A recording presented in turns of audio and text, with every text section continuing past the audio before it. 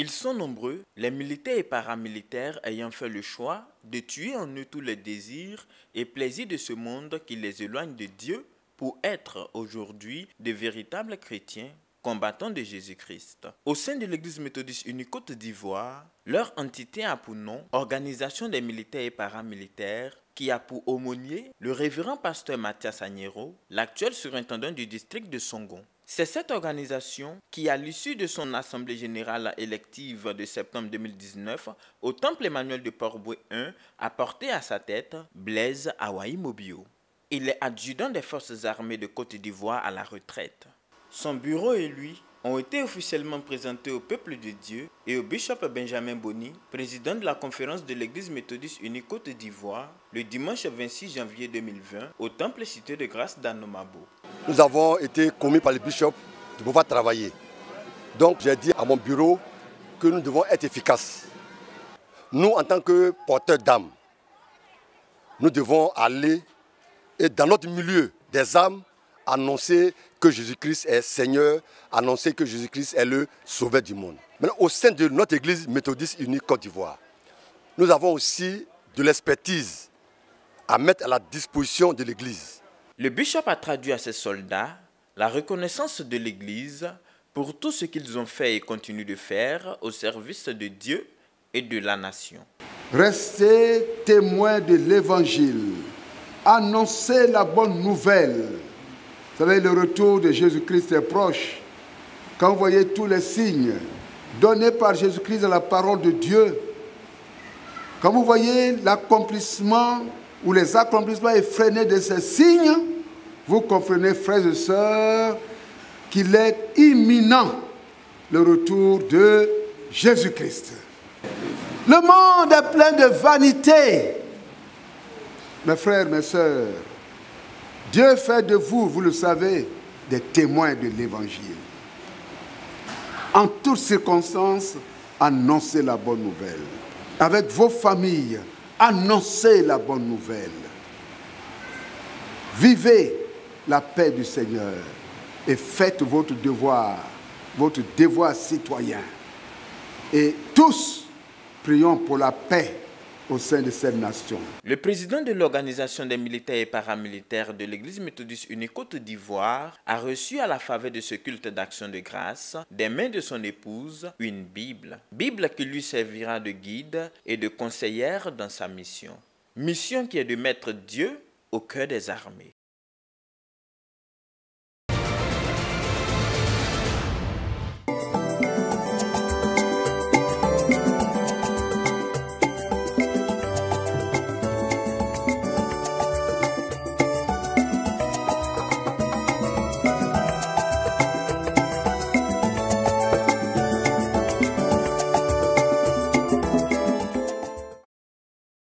La première des choses que je veux dire, c'est qu'il faut que chacun de nous, membres du département, se dise, j'ai des efforts à faire. Puisque l'enfant de Dieu est celui que Dieu utilise pour aider, pour édifier. Il faut donc qu'il y ait des options claires. Par exemple, je dis, par la grâce de Dieu, je ne tromperai pas ma femme. La fidélité. Si on veut jouer un rôle, il faut des options claires. On ne peut pas être membre du département, on ne peut pas être donc méthodiste. Devant l'acuité de la situation, devant le fait que les couples meurent, les familles meurent, et puis se laisser encore aller à ce genre de comportement, ce genre de pratique. Il faut donc des visions claires. Je ne battrai pas ma femme. Claire.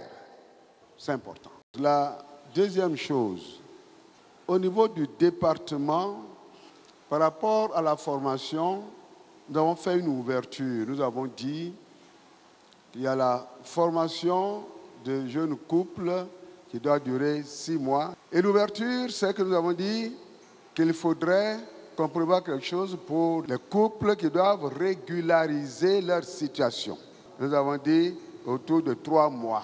Ça fait quand même longtemps. Et nous constatons qu'on en est encore à la phase de régularisation. C'est le constat que je fais. Mais je crois qu'il y a du travail à faire là. Qu'on l'option de rectifier carrément et définitivement le tir en disant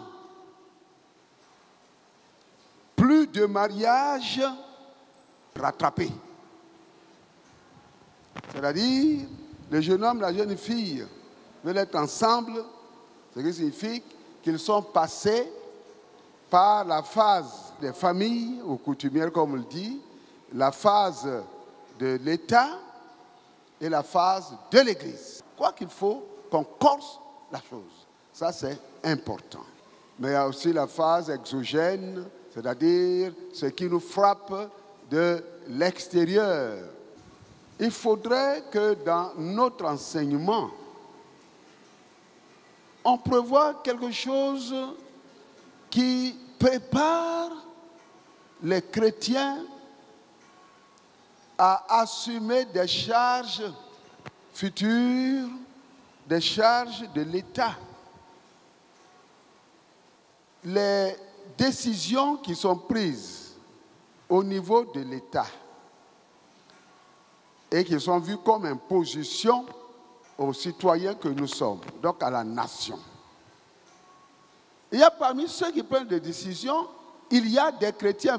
C'est quoi être et assumer des charges de député, par exemple, de ministre? Il faudrait que notre enseignement tire un peu dans cette direction-là.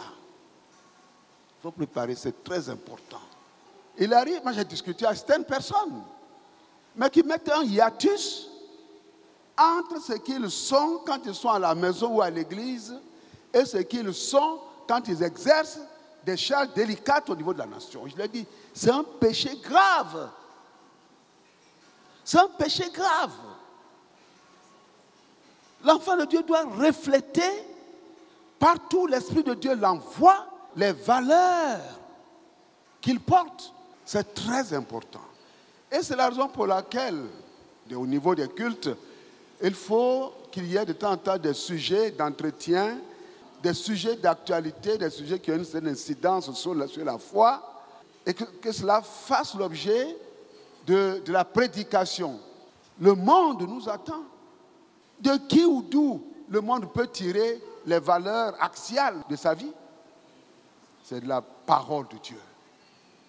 À partir du moment où nous sommes enfants de Dieu, porteurs de la parole de Dieu, il faut que nous élevions davantage notre degré de responsabilité. Le monde se perd. Donc, en tant qu'Africains, nous qui voulons absolument mettre toujours Dieu au premier plan, nous nous interrogeons sur ce qui a fait la valeur des familles hier, ce qui a rendu possible la stabilité des familles. Il nous faut puiser dans tous ces sens, c'est extrêmement important. Que Dieu éclaire, continue d'éclairer, de fortifier le département, qu'au sein de l'Église, quand des questions d'ordre familial se posent, qu'il n'y ait pas cette ceinture de solidarité inutile et que le mal soit désigné comme mal. Qu'on puisse dire à quelqu'un, non, ce que tu fais n'est pas bien.